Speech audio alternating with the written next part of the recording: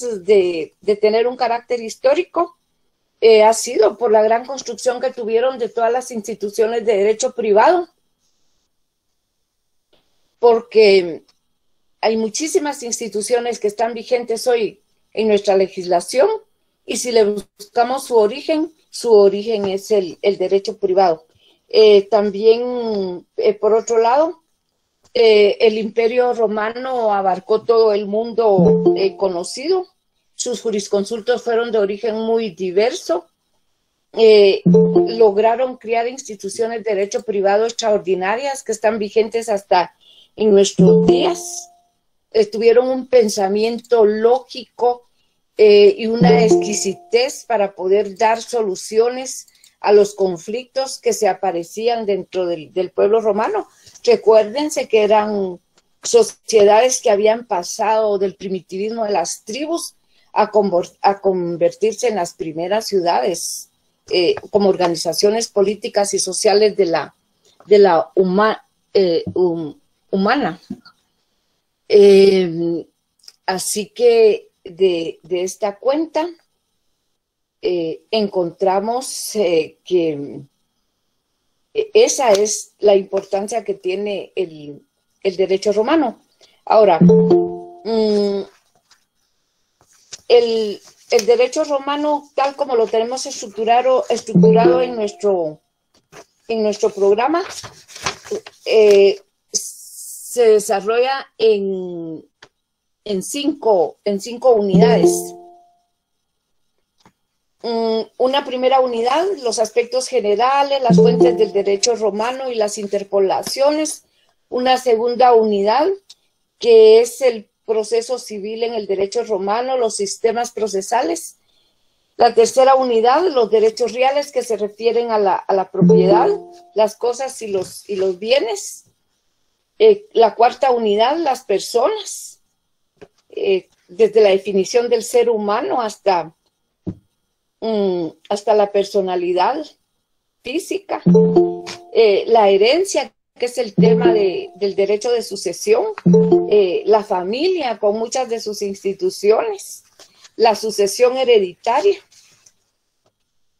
y, los testamentos.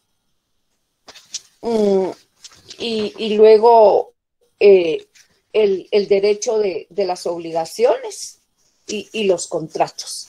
Y, pero todo esto originado dentro del, derecho, del derecho romano. Em, quisiera eh, saber eh, si hay preguntas en, hasta este momento, ya que solo yo he eh, he hablado mientras les explico la dinámica del, programa, pero si ustedes tienen preguntas, eso nos puede servir eh, para ir desentrañando cuál va a ser toda la, dinámica de la, de la clase. Licenciada, buenas noches. Buenas noches. Adelante. Eh, el libro, usted nos va, nos va a decir qué libro vamos a utilizar y dónde lo podremos comprar. Eh, sí, está bien, esta pregunta también la habían hecho en el, en el chat. Miren, eh, el programa tiene una, bibliografía muy, bien buscada. En esos libros, si ustedes buscan el tema del programa y lo logran estudiar, sería excelente. Como abogados y notarios y abogadas y notarias y, juristas, cuando tengan un nivel eh, más alto en su formación, eh, no se concibe si ustedes no leen. Así que eh, también me preguntan que dónde encuentran el programa y ahorita voy a ir dándoles los, respondiéndoles poco, poco a poco.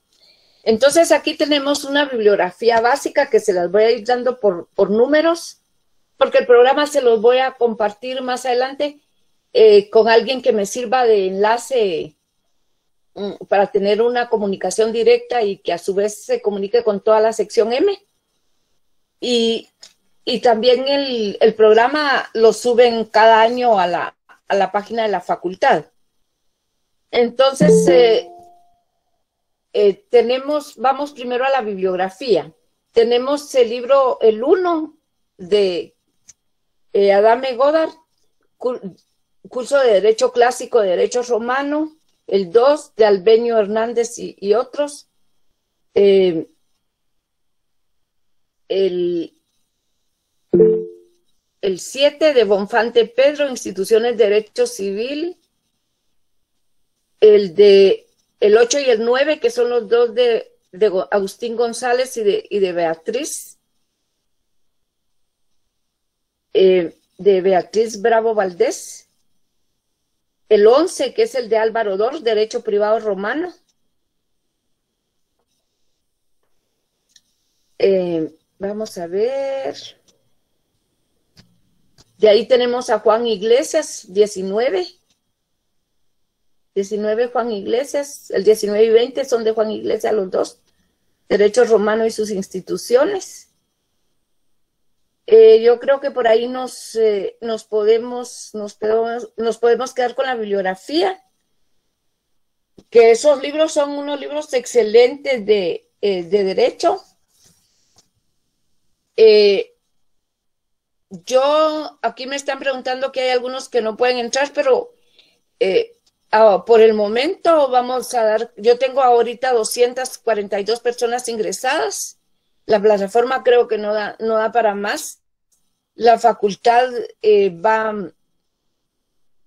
Juan Luis Jocón, eh, si la plataforma parece que no da para más y es una cuestión administrativa de la facultad que la van a tener que, arreglar. Licenciada, buenas tardes. Yo creo que tiene capacidad de 400 personas, 416. Aquí no, aquí no están, no, han entrado más de más de 242 van y, y no ya no ya no pudieron entrar, ya no pudieron entrar más. Entonces, yo estoy dándoles aquí ingreso, pero parece que ya no entran. Vamos a ver, poco a poco vamos a ir. Y se, van, ya no me da tiempo de que les dé yo ingreso. Eh, eh, sí, solo 250 parece que son así, dice Maynor Bando. Ustedes conocen bien todo esto y, realmente es um, pedagógicamente también eh, no, no es aconsejable tener aulas de 500 personas, imagínense. Entonces se tiene que hacer... Licenciada, y retomando el tema de los libros, si nosotros tendríamos, por ejemplo, de ediciones anteriores 2019, un ejemplo, ¿solo se compara el índice y se pueden utilizar esos libros? Eh, sí, sobre todo, la, sobre todo la edición de 2020, que es la edición que ya viene que, ya viene bastante, ¿cómo decirle? Bastante purada sería la palabra, la edición 2020, si la tienen está bien, si no, también tenemos la, la, edición de, de 2021, que es el libro guía que me va a servir a mí, el derecho romano y su sistema, y su sistema de acciones. Los autores son el licenciado Ranferí Díaz, el licenciado Marco Aurelio Albeño y eh, una servidora de ustedes. Este libro ya es un libro que está mediado, que tiene todo el programa de derechos romanos desarrollado. Sí, está, está mediado y porque no es lo mismo enseñar derecho romano en, la maestría o en el doctorado que para el nivel de ustedes, que es el, primer nivel todavía del, del, del grado. Licenciada, perdone, ¿puede mostrar nuevamente el libro? Sí, con mucho gusto. También les voy a, cuando tenga ya los enlaces listos, les puedo mandar una, una foto del, libro, porque ahorita como es el primer día de clases. Un poco más eh, bajito, licenciada, por favor. ¿Ahí? Un poquito más centrado, licenciada, para tomarle captura. Gracias. ¿Lo ven bien ahí?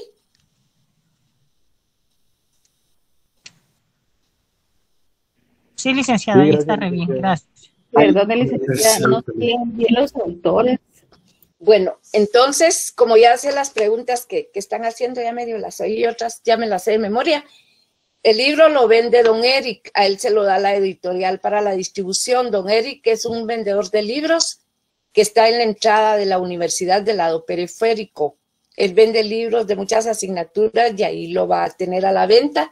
y el, el precio no ha variado, es de, ciento, de 150 quetzales.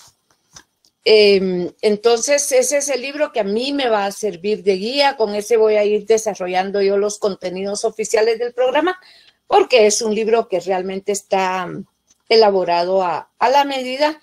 Y yo les pido, por favor, mucho respeto para, para, los derechos de, para los derechos de autor, porque escribir un libro es una tarea muy, muy difícil y en Guatemala, como en otras áreas, los escritores de literatura científica o de, o de literatura mm, eh, de, otro tipo, eh, no, no, tenemos, no tenemos apoyo casi de ningún, no, no hay apoyo de ninguna naturaleza. Entonces cada quien tiene que ver cómo se las ingenia para, para producir sus, sus obras. Quisiera saber si hay más preguntas respecto de la evaluación o, de, otra, o de otra naturaleza. Licenciada, sí, evaluación, trabajos, por favor. Bueno, eh, eh, Luisa, y para, para, para el colectivo, miren, normalmente eh, ya saben que tenemos un primer examen de 30 puntos, un segundo de, de 40, que se divide 30 a 10 10 de un trabajo y, y 30 de, de, un, de un examen y eso hace 70 de zona y un examen final de 30. Esa es la distribución que vamos a tener durante, durante la asignatura de, de Derecho Romano. Licenciada, buenas tardes. Este, disculpe con una pregunta. Fíjese que yo noté que de, los links de la reunión son dos diferentes, el día lunes y el día miércoles. ¿Va a usar esos dos diferentes o solo es un link? No, voy a, voy a usar diferentes. Así como están ahí, tengo un link para el lunes, uno para el martes, uno para el miércoles, otro para el jueves. Ah, bueno, muchas gracias. Sí. Eh, me, me, había dicho Juan Luis eh, eh, Jocón que él puede servir de enlace para la clase. Yo no sé si el colectivo está de acuerdo como para que me pudiera dar su número de, de teléfono, Juan Luis. Buenas noches, licenciada. Claro que sí. Eh, ahorita se lo ingreso. Por favor. ¿Listo, licenciada? 5899. 6240. 6240. Así es, Entonces, yo voy a organizar un, un, pequeño chat con los cuatro enlaces de, de las cuatro secciones que, que yo administro y, y, entonces ahí vamos a tener la comunicación. Lo primero que voy a mandarles es una, una copia del, del, programa. Va a aparecer ahí 2020, pero el programa no tuvo modificaciones porque Derecho Romano pues eh, lo tenemos bastante, bastante bien construido y, y, aparte, como no hay instituciones nuevas de derecho romano, como, como decimos y, y, y, nos reímos el profesorado de derecho romano, como no hay derecho romano guatemalteco, entonces no hay cómo estar eh, agregando. Eh, Jorge Luis Alvarado, por favor, el número de teléfono de nuevo, Jorge Luis. Licenciada, disculpe, una compañera ya creó un grupo de WhatsApp, tal vez puede usar ese y ya quedaría como el oficial. Pues eh, eh, sí, sí, ya Juan Luis fue el que se ofreció acá. Si ella se hubiera ofrecido, yo también le hubiera tomado la, la palabra, pero ahorita tenemos a, a Juan Luis, aunque eh, no habría inconveniente en que fueran dos, más de dos si, si ya no, eh, ya, ya, no, ya no es conveniente porque entonces se dificulta un poco la, eh, la comunicación. Normalmente tengo, tengo dos por sección porque también es bueno tener una sustitución en caso de que, de que alguien no pueda atender o, se retira. Entonces sí es bueno tener por lo menos dos. Aquí tengo a Juan, a Juan Luis. Si alguien más se, se postula o lo postulan, con muchísimo gusto yo lo, yo lo estaría anotando. Entonces aquí se postula Marlon. Marlon, no sé qué, qué dicen ustedes. O, o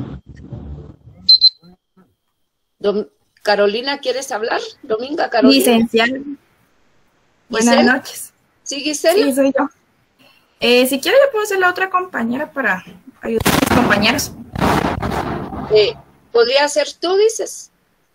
Sí, Va, Gisela, escriban en el chat si. Gisela, Gisela Lucía Pérez. Sí, exacto.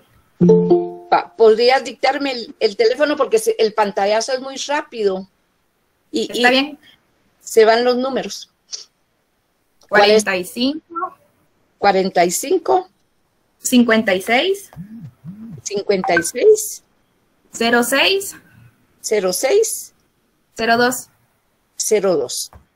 Bueno, entonces ahí ya tenemos por lo menos dos enlaces para la sección M.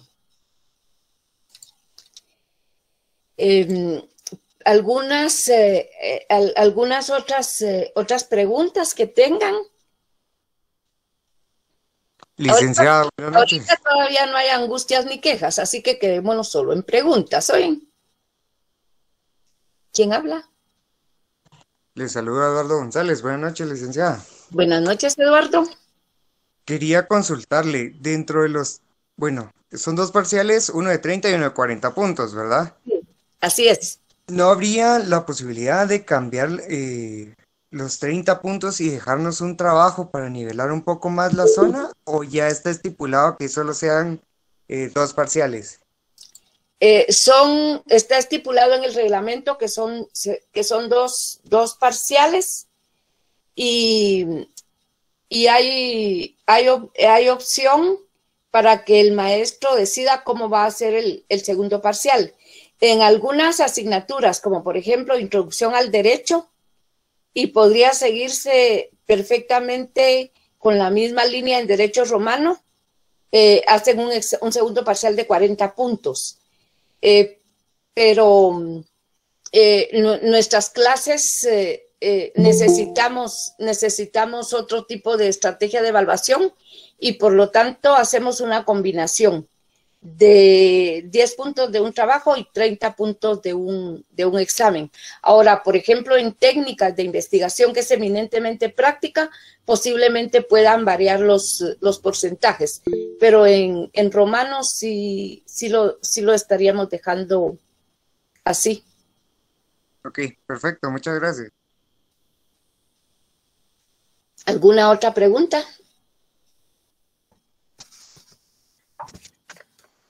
El trabajo, perdón, licenciada, buenas noches. ¿El trabajo va a ser individual? ¿Vamos a trabajar? ¿Usted trabaja con grupos? Eh, esa sería mi pregunta. El, el trabajo, el trabajo normalmente es, es individual y, y la evaluación de ese trabajo se hace dentro del mismo, dentro del mismo examen parcial.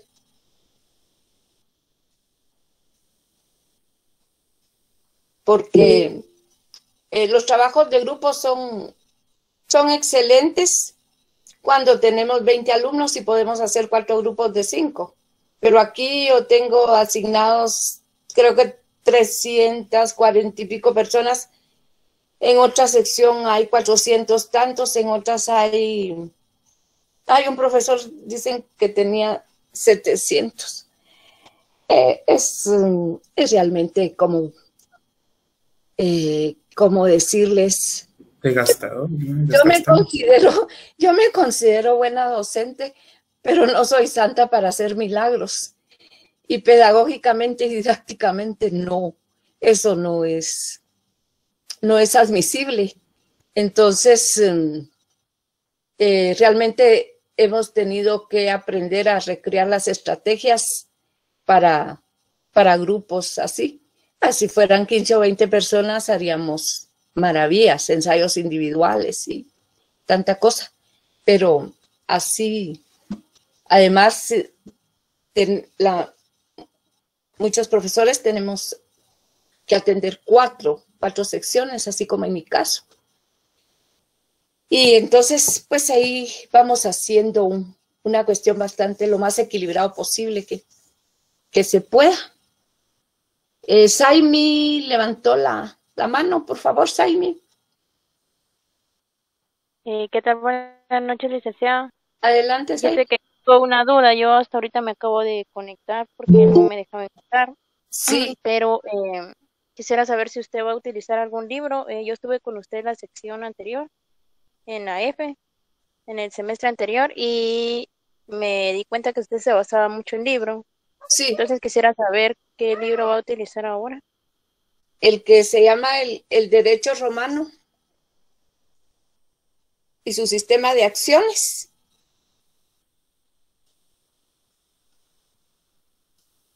Que lo vende. Solamente. ¿Qué más? ¿Ya? Solamente, gracias.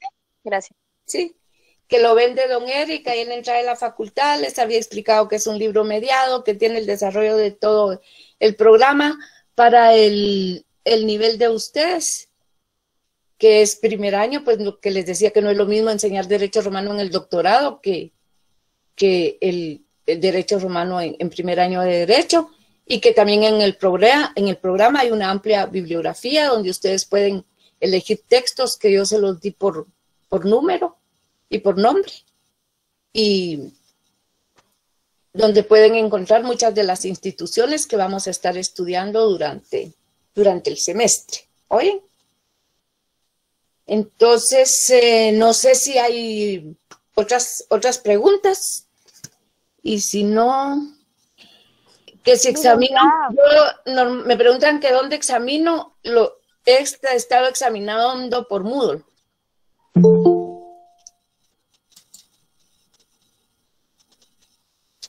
he estado examinando por, por Moodle. Eh, ¿Alguna otra pregunta que tengan por ahí? Por nada, Natalie. Licenciada, buenas noches. Disculpe, ¿usted ya sabe el precio del libro?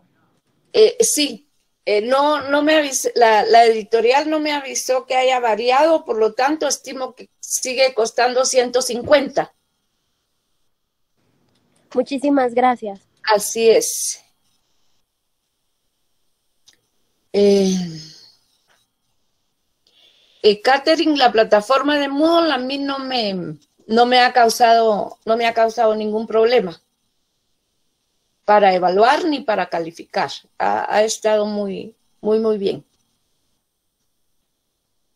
Eh, luego, si no hay más, más preguntas que ustedes quisieran hacer acerca de, de la dinámica de esta asignatura.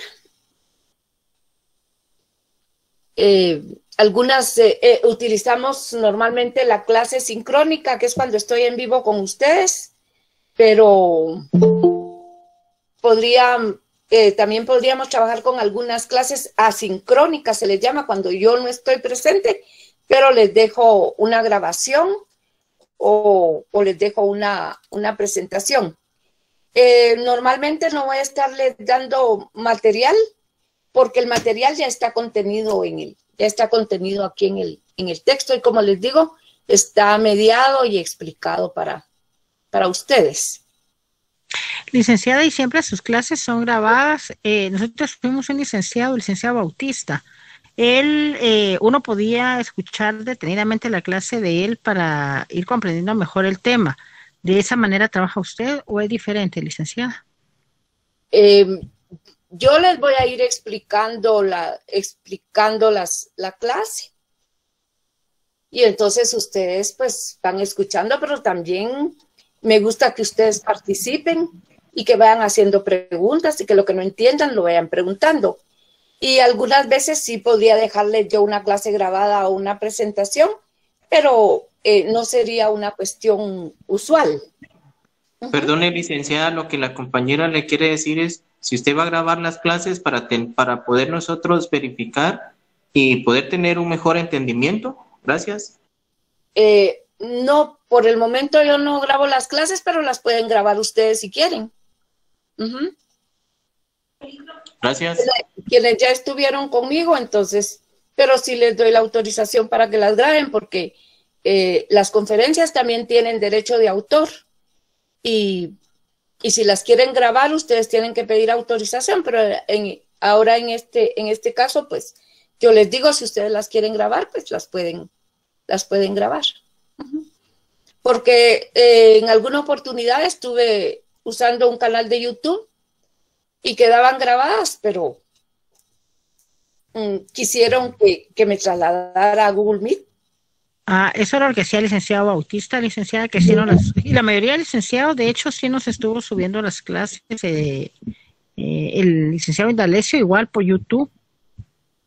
Entonces, em, eh, pero ustedes las pueden, ustedes las pueden grabar perfectamente, porque ahí eh, es, está todo, todo este, este trabajo de cada día. Gracias, licenciada, muy amable. Linda, perdón el abuso y, y, lo que comentaban los compañeros, pero ¿habría alguna mínima posibilidad de que usted pudiese subirlas a YouTube? Disculpe. Bueno, uh, trataría de trataría de hacer eh, de hacerlo, pero les voy a decir un inconveniente que he encontrado. Ajá, le agradecería. Entonces, que no asisten. Se vuelve un ausentismo terrible. Fíjese, fíjese si, las clases, si las clases son de 200 estudiantes, entran 70. Y, des que, perdón, y después viene el respectivo el fracaso y, y después viene la, la lamentadera, pues, de que Fíjese, Lida, que por lo menos en mi caso y mis compañeros, bueno, con los que trabajé, en su mayoría, ¿verdad? Fíjese de que la clase la recibíamos después, sin embargo, el licenciado, pues tengo entendido que tomaba la asistencia en ese momento, o sea que ahí no había pierde. Sí, pero la, la asistencia no es obligatoria. Y si yo me pongo a, a, tomar asistencia aquí, de todas maneras automáticamente me la toman, me la toma el, el programa y me la, me la refleja en los listados Excel. Entonces, eh, si no, no terminaría. Si me pongo a tomar asistencia y eso no, no, terminaría. De todas maneras, el programa la toma. Y se provoca aquí un gran ausentismo. Yo ya, yo ya tuve la experiencia y no, no hemos resultado. Entonces, sí, lo menos, enhorabuena. gracias, Escuchan la, la clase, están presentes, si quieren la graban, hacen además las preguntas, porque ya cuando, cuando yo no estoy, ya no me van a poder hacer preguntas sobre las dudas que tengan. Aquí me las pueden hacer, aquí les resuelvo yo con, con muchísimo gusto las, las inquietudes que tengan. Entonces, hoy, por, hoy les, les pregunto a ustedes si alguien quisiera participar contándome un poco de la leyenda, que es cultura, es cultura general, eh, sobre mmm, la historia de la fundación de Roma. Bueno, hablando de Roma, se hablaba de que Rómulo y Remo pues habían sido eh, dos hermanos, ¿verdad? Que habían sobrevivido a una travesía, ¿verdad? Montados por una loa, que con el pasar del tiempo pues ellos fueron los fundadores de todo lo que en algún día se convirtió en el Imperio Romano. Eh, gracias, Carlos Alberto, muy bien. ¿Alguien quiere comentar otros datos? José Carlos, adelante. Eh, fueron criados dentro de una cueva, que de hecho eh, ahí se hacían ciertas celebraciones por parte de los romanos eh, para celebrar la creación de la, de la, de la ciudad dentro de esa, de esa cueva, que fue, fue donde supuestamente fueron creados los dos fundadores. Así es, ¿qué más pueden complementar?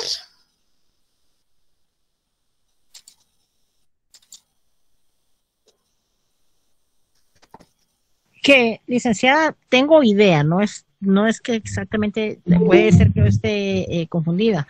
En los comentarios que a veces hacemos eh, los, los, estudiantes que, que, han estudiado Derecho, ¿verdad? Sí. Eh, dicen que el, el, derecho romano está bastante apegado o apego, creo que le dicen, a, a la ley de nosotros, igual que, que Argentina y España, el derecho romano. Es cierto, Luis, totalmente cierto. Por eso es la, la importancia, por eso es la importancia de, estudiar el derecho romano, porque ahí están las raíces del derecho de Occidente. Y si, si ustedes principian a darme nombres de instituciones, que es un ejercicio que vamos a hacer en la próxima clase, se van a dar cuenta cómo todas estas instituciones que son eh, parte de la vida cardinal del, del ser humano en Guatemala. Eh, tienen su raíz y nacieron y se mantienen con, con leves matices, eh, se mantienen in- intactas en el sistema jurídico actual. Entonces, em, ahí, ahí vamos en, en ese, en ese sentido. Em, ¿Alguien más quiere? Licenciada, que Roma fue fundada en el Monte Palatino, ¿es correcto? Por favor, Dimas, Francisco. Rómulo mató a Remo por, por una sí, o, o al revés, Remo mató a Rómulo, pero uno de los, uno de los dos fue el fundador eh, general de Roma, porque uno falló, entonces el otro tuvo que matarlo, algo así. Bueno, en, en la leyenda se dice algo, algo referido a, a este tema. Rómulo fue el fundador de Roma, mató a Remo porque este se, entre unas causas que aparecen en las investigaciones de la, de la leyenda que tienen matices verdaderos, pero que tienen también ma- matices ficticios, eh, dice que se saltó las puertas de la ciudad y que como las eh, murallas de la ciudad y las puertas son sagradas para los romanos, eh, fue, fue condenado a, a muerte y lo mató su hermano, su hermano Rómulo, que fundó eh, la, la España, la, la Roma que se le llamó la Roma cuadrata, porque su forma geográfica era, era más o menos la de, la de un, cuadrada, un cuadrado, y entonces ahí se fundó eh, Roma sobre el monte Palatino.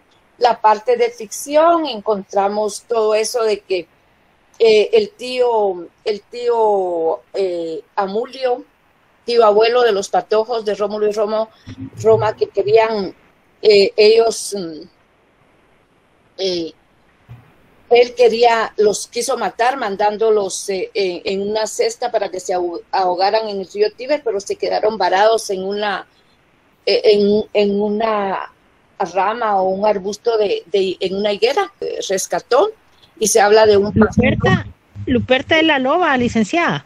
eh, sí, es que, es que así, así se llamaba la, la loba, pero también hay otras investigaciones por ahí o interpretaciones quizá que dicen que en ese tiempo a las prostitutas les decían lobas.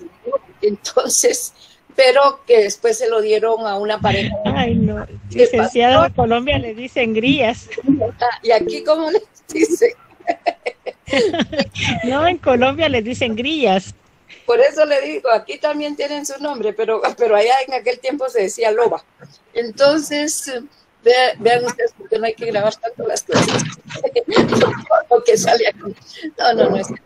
Bueno, pero entonces, eh, vean que, que, que, que Remo se consideraba que tenían origen, origen divino, porque hijos del dios Marte con la princesa Rea Silvia, que era la hija de, de después los gemelos le dieron muerte al Romulio, se instauraron, instauraron al abuelo en el poder y a la muerte de él, Rómulo se constituye en el primer, eh, en el primer rey. Pero vean ustedes lo, lo importante de la fundación de Roma. En el 753, por favor, ahí hay un teléfono encendido y nos interrumpe la comunicación. Linda, Este, ¿puedes silenciarlo desde ahí? ¿Es cómo? Sí, Desde ahí no puedes silenciar. no, no, de, de aquí- de aquí, de aquí no. No, o al menos tal vez yo no, yo no sé cómo, pero, pero voy, voy a, voy a preguntar cuando haya oportunidad.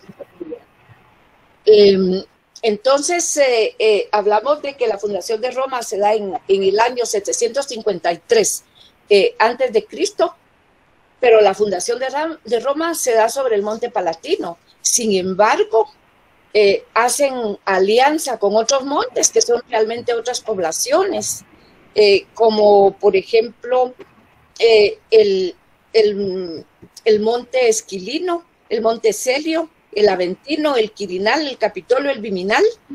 Y entonces por eso se habla de la fundación de Roma sobre las siete colinas. Esas siete colinas también se dice que son los montes, pero en realidad eran siete poblaciones. De esa manera es que nació, nació Roma como, como un país eh, o como una, como una ciudad federada, que es un concepto muy moderno porque hoy tenemos eh, eh, repúblicas federadas, como por ejemplo tenemos el Brasil, tenía Estados Unidos, México, y que eso geopolíticamente es bien importante en la, en la organización de un pueblo porque no permite tanta centralización.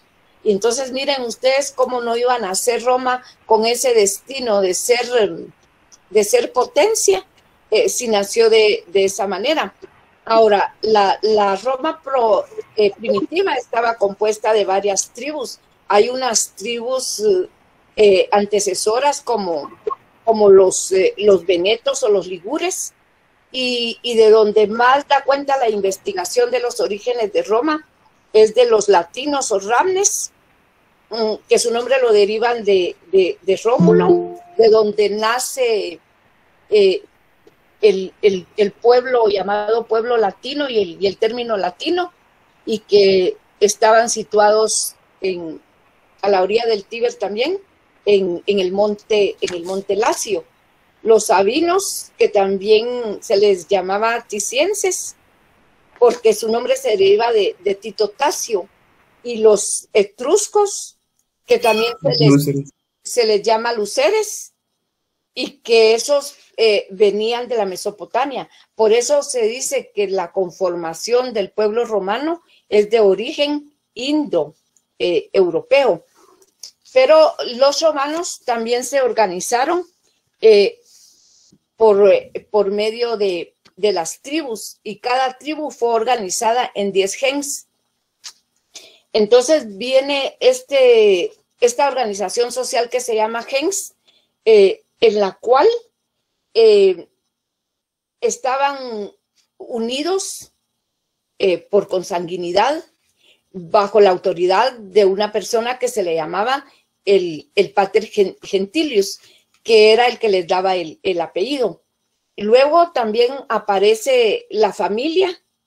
Son personas que descienden todas de un tronco común, que están unidos por, por parentesco. Y, también están eh, bajo la autoridad de una persona llamada pater familias. Entonces tienen un nombre común que es el gentilicio, que todavía se utiliza hoy tienen un culto común que le rinden a sus muertos, tienen un jefe común que es el pater familias y que está concentrado en él. Carlos Alberto, por favor, adelante. Ah, en este caso me da la curiosidad si al final todo eso tiene que ver con, con la cuestión del Vaticano en el sentido de que ahí fue donde se estableció esa parte, porque se mencionó las siete colinas, disculpe. Eh, del, del Vaticano. Sí, perdón, ¿tiene alguna relación con lo que eh, mencionó por Roma? Eh, esto, esto tiene, tiene eh, relación por, por, la ubicación geográfica, pero, pero, todo, pero todo esto tiene relación con el cristianismo. Después, de la, ¿no? después de la muerte de la muerte de Cristo y, y también con, con, Constantino que tenía controlada la parte oriental, la otra capital del imperio de, Roma, eh, que era Bizancio, y que perduró hasta, hasta que fue tomada por, por los turcos. Entonces sí, sí, están relacionadas, pero en diferente época. Correcto. Ajá, sí. Pues así respondió mi duda, muchas gracias. Ah, está bien, no tengan pena de, de preguntar, que yo con muchísimo gusto eh, voy orientando por ahí y las, las dudas que, puedan tener hoy. Entonces, em, tenían también sepulturas comunes, que esa es una costumbre eh, todavía nuestra.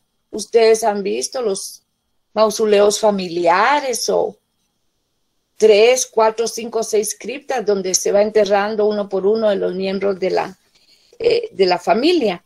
Entonces apareció también la familia y por último apareció la ciudad, que es la que se llama la que se llama civitas.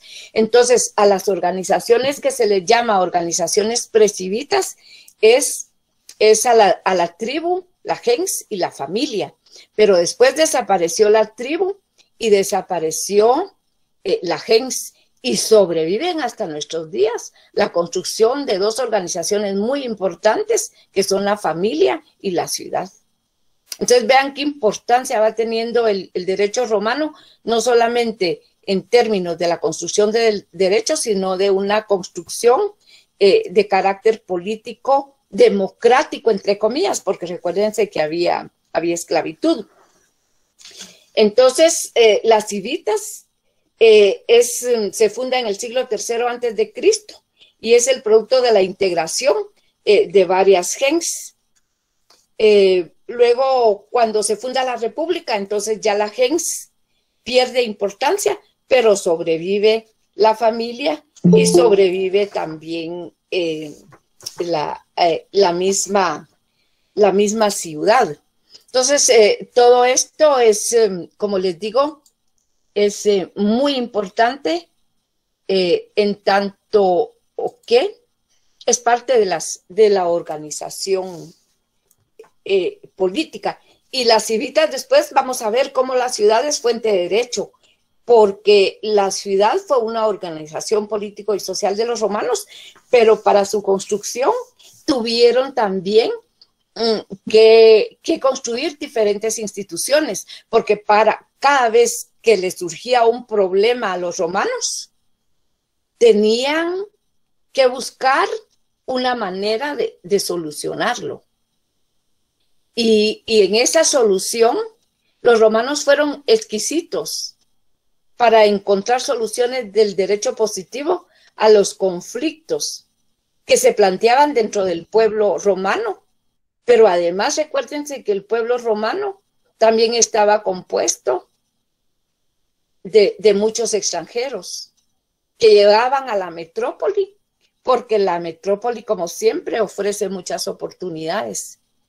Entonces también habían extranjeros y los romanos tuvieron tuvieron que,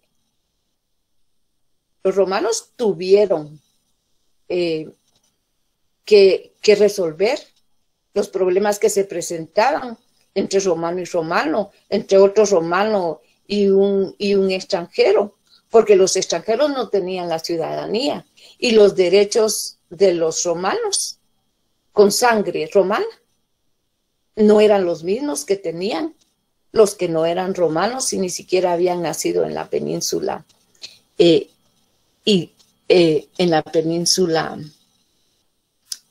itálica.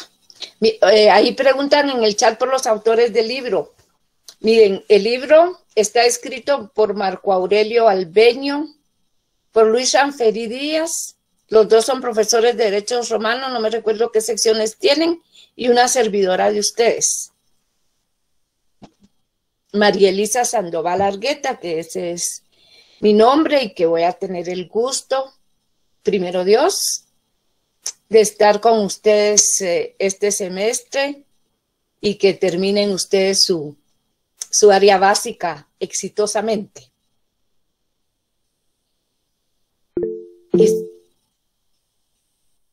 quisiera saber si, si, tienen, si tienen más, más preguntas.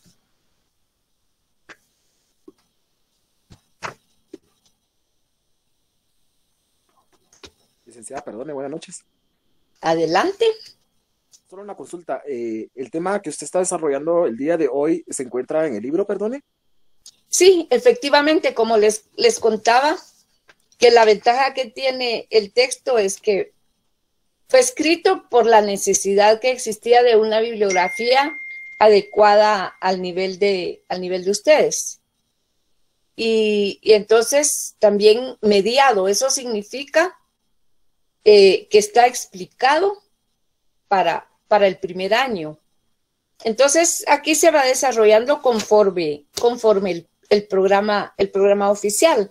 Lo que nos guía, de hecho, es el programa oficial.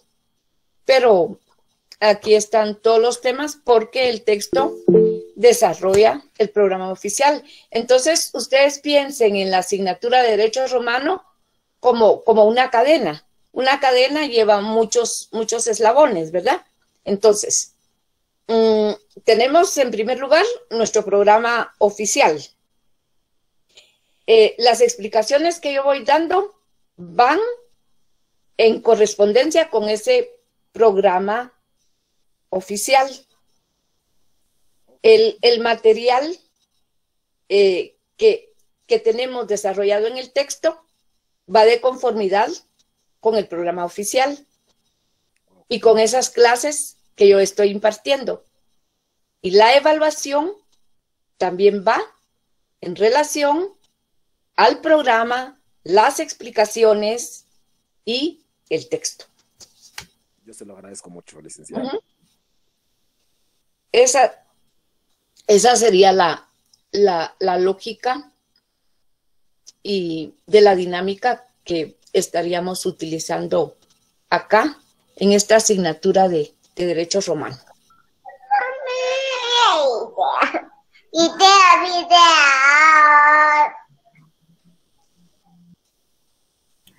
Doctora, perdone con una consulta. ¿A los, a los extranjeros que llegaban a Roma tenían algún nombre en específico? ¿Podían ser tratados como esclavos o tenían alguna, alguna participación importante en Roma? Eso, eso dependía, porque si eran, si eran, si eran extranjeros, pero porque eran de los países vencidos, los tomaban como botín de guerra y se, y se convertían en esclavos. Eh, también podían ser de otro país, pero si llegaban con la condición de esclavos, habiendo sido objeto de compraventa, porque los esclavos no eran considerados personas, eh, entonces eh, también eh, eran, eran considerados esclavos. Pero aquellas personas que se habían afincado en Roma, que no eran esclavos, que eran personas libres y que tenían alguna, alguna fortuna, eran las personas consideradas, consideradas extranjeras. De hecho, había gente de, de, de todos los pueblos, hab- habían griegos, habían fenicios, habían eh, egipcios y había gente muy acaudalada que se había ido eh, a, a fincar eh, su residencia eh, precisamente a Roma, que era una metrópoli extra- extraordinariamente desarrollada y que en la Roma cuadrata mm, habían por lo menos 10.000 10.000 habitantes. Muchas gracias, licenciada, muy amable. A la otra. Licenciada, buenas noches. Sí, Álvaro. Eh, los esclavos, eh, bueno, usted me corregirá si no estoy mal, eran considerados como bienes eh, o, o cosas eh, que, le que le podían pertenecer a, a otra persona, ¿verdad? Sí, correcto. Incluso eran susceptibles de compraventa y, y hasta el propietario de los esclavos tenía en sus manos hasta la vida de ellos porque no eran consideradas personas, sino que eran considerados y asimilados a las bestias. Muchas gracias, licenciada. Tristemente. Es historia de la, de la humanidad.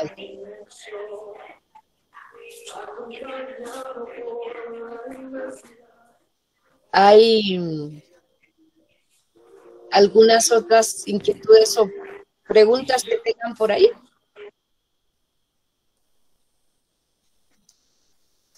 Si Sí, no- mira, en este caso, Sí, Carlos en este caso, en el, durante el imperio, ¿verdad? ¿Hubo algún caso de que hubiesen gemelos disputándose el trono? Dicho de una forma. Eh, no, recuerdo, no recuerdo yo al- algún caso, pero lo que sí fue, lo que sí fue muy, mm, ¿cómo decir? Muy, muy, sí, muy frecuente es que cuando había alguna persona que aspiraba al, al trono, eh, incluso mandaba matar a todos los que le podían interrumpir en la línea de sucesión. Así fue como mataron a toda la familia de los Claudios. Pero hubo un Claudio a quien no lo tomaron en cuenta porque tenía eh, problemas mm, mm, eh, neurológicos, neurológicos periféricos y, y babiaba y, y, entonces lo, lo, consideraban que no era una persona eh, posible de, que pudiera acceder al trono, entonces lo dejaron como olvidado. Y, y él, él se formó con los griegos y era un tipo sumamente inteligente. Ustedes pueden ver eh, la, eh, pueden ver eh, las, las obras literarias sobre la historia de Roma y hay una película que se llama Yo, Yo Claudio y, y las, las novelas históricas y, muy bien investigadas también de Santiago Posteguillo, un español que escribe en relación a, esos temas. Mm, eh, en un momento, cuando ya no habían descendientes de la, de la dinastía de los Claudios, eh, lo encontraron y el pueblo fue el que lo elevó a, emperador. Y fue un buen emperador porque logró hasta rescatar eh, las águilas que habían perdido las legiones, las legiones de los romanos. Entonces, pero de en caso en particular de que gemelos hubiesen estado eh, disputándose el trono, sí, no, lo desconozco yo por eh, ahorita, no, no recuerdo, eh, pero normalmente un emperador designaba a su sucesor y generalmente la, la sucesión se hacía entre, entre las personas cercanas a, él, porque dinastías que se, que se heredaron eh, el trono eh, de un descendiente a otro, porque en las dinastías es de, es de un descendiente a otro. Eh, solo fueron cuatro dinastías en Roma. Está la dinastía de, la dinastía de Julio Claudio, donde está Augusto, Tiberio, Calígula, Claudio y Nerón. La, la dinastía Flavia, ahí está Vespasiano, Tito y Domiciano la de los Antoninos, donde está Nerva, Trajano, Adriano, Antonino, Marco Aurelio y Cómodo. Cómodo es el que sale en la película del gladiador. Y, la, y los severos, que está Séptimo Severo, eh, Caracala, Heliogábalo y Alejandro Severo, que esos ni siquiera son romanos, sino que son descendientes de una princesa siria con la, con la que se casó Septimio Septimio Severo. Entonces esas son las, las únicas cuatro dinastías que tuvo el Imperio Romano. Los demás fueron un montón de, emperadores, de emperadores, digamos así, eh, independientes, que no pertenecían a ninguna, a ninguna dinastía. Gracias, Ligda, muy amable. Eh, Mariana está levantando la mano por ahí. Buenas noches, licenciada de eso que hablaba de las familias y de los Claudios. Es como el caso de los Romanov en Rusia, que mataron a toda la descendencia ah, para terminar con el imperio. Sí, esa fue parte, sí, de lo que pasó con las dinastías dinastías rusas de los Romanov. Que ellos, si no estoy mal, tenían relación, eh, que todos los todos los reinos de Europa tenían relación. En este caso, el primo Nicolás, algo así, Romanov, era familiar del, no sé exactamente de quién, pero de la corona inglesa. Entonces era una especie de tío de la reina Isabel actual. Sí, ellos han estado interrelacionados y con también son parientes con, con, las, con las dinastías de los de los, de los reyes de Grecia, eh, con los de Dinamarca, los ingleses con los españoles, sí, había los franceses. Mm, incluso si, si, estuviera establecida la dinastía en eh, la, la, monarquía en Francia, le correspondería el trono a, a, un, a un, muchacho que es, eh, que es español, hijo de Carmen Bordiú, nieta, nieta de Franco eh, y sí han estado bien emparentadas porque esa era la manera de, no de extender sus reinos y, alianzas, alianzas de carácter político. Eh, así, así es. Las dinastías del Imperio Romano son, son diferentes. Ahí habían preguntado por las cuatro dinastías. Está la de Julio Claudio, repito, la dinastía Flavia, la de los Antoninos y la de los Severos. Edgar Armando quiere hablar por ahí. Adelante, Edgar. Buenas noches, licenciada. Solo una, Noches, Edgar. una consulta. Eh, mire, yo tengo el libro, pero es de la quinta edición. No sé si me servirá. ¿De qué color es la pasta? Era morada. Eh, está, mm, Tiene su nombre y los de los otros dos licenciados Sí. que usted mencionó. sí, eh, esa, esa edición básicamente tiene, tiene temas fundamentales, pero cuando, cuando se modificó el programa, se tuvieron que agregar unos temas y esos temas no están en el, en el texto. Oh, Entonces la edición actual está corregida y ampliada, pero sí te puede servir esa edición para ver algunos temas que igual los vamos, son temas del programa y los tenemos que estudiar acá. Ah, muy bien. Entonces, la- esta, el libro que usted mencionó, el que tiene usted ahí, ¿qué edición es? Disculpe. Esta, esta, si mal no recuerdo, es décima. Sí, es que ya hace ratito. Sí, esta es la décima edición, adentro dice. Ah, Décima edición. Entonces voy a tener que comprar el que usted mencionó, que venden ahí en la entrada de la... Vean, vean ustedes que sea la, exacto, vean ustedes que sea la décima edición, que ahí lo dice antes del índice. Antes del índice dice, en la página anterior dice décima edición. Muchas gracias. Lo agradezco. Por nada, por nada, Edgar. Luisa. Décima es la última edición, la, la última, última ahorita, ¿verdad, licenciada? Es la- ojalá que no sea la última, que sea la más reciente. Sí, la más reciente, sí, me expresé mal, sería la más reciente, ¿verdad? Ah, así es, así es.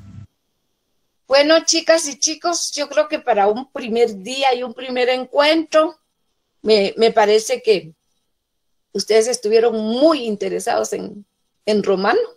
Tal vez ustedes no, no iban a pensar que, que les podía interesar tanto, pero poco a poco van a ver qué interesante es romano. Yo me despido esta noche de ustedes muy, muy complacida, así es que espero que, que sigamos en, en esta, en esta sintonía, oyen, y que lamento mucho que nuestras clases no sean presenciales, porque eso es otra dimensión. Es una dimensión humana